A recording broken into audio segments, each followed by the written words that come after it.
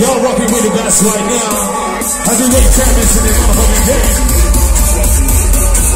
What you want to with? Who you want with? What